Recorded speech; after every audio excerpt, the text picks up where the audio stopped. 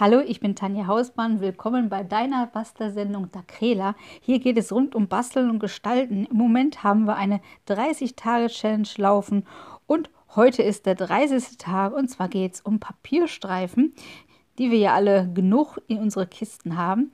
Und ja, ich habe diesmal Manche von euch haben auch einfarbige Streifen, wie ihr mir geschrieben habt. Und ich habe mich jetzt für eine Farbe entschieden. Ihr könnt natürlich auch eine andere Farbe nehmen. Ich habe jetzt Rot genommen und nehme jetzt jeweils insgesamt sechs Streifen in Rot. Die sind circa zwei Zentimeter breit. Und die klebe ich jetzt einmal längs und einmal so quer übereinander. Dann haben wir dieses Raster. Der Überschuss, der wird natürlich mit einer Schere weggeschnitten.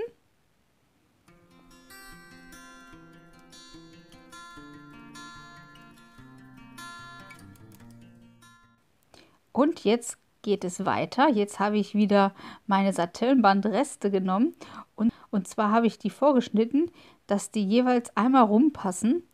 Und so kann ich meine Papierstreifen noch ein bisschen mehr schön verzieren und dekorieren. Und bekomme natürlich auch noch meine Schleifenbandreste ein bisschen weggebastelt.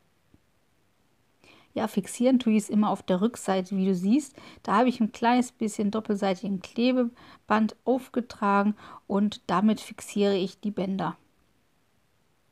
Und das Ganze mache ich natürlich auch nochmal längs, sodass das Ganze ein sehr interessantes Muster ergibt.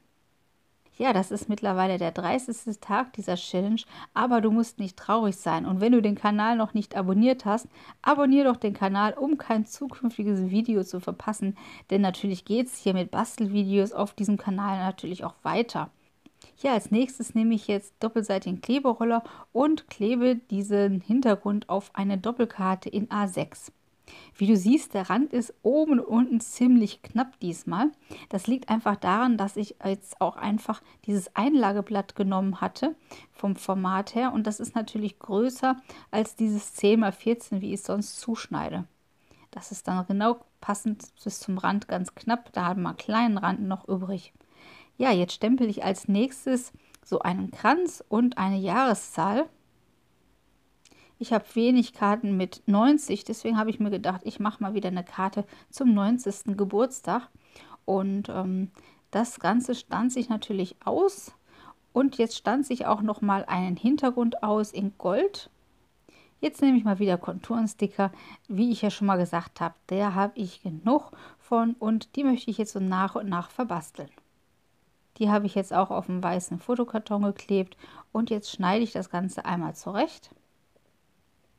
Dann klebe ich das Ganze nochmal auf einen ja, goldfarbenen Fotokartonrest. Dann wiederholt sich das Gold von oben und natürlich von den Bändern. Auch das schneide ich mir wieder zurecht. Jetzt nehme ich mir 1 mm Pads und klebe das Ganze einmal auf meine Karte. Ja, das hatte ich noch nicht festgeklebt. Das klebe ich jetzt auch noch mal mit doppelseitigen Kleberoller drauf. Und das ist schon meine heutige Karte. Einfach gemacht und trotzdem sehr effektiv voll. Wie gesagt, nimm die Farbe, die du gerne möchtest und es muss nicht rot sein.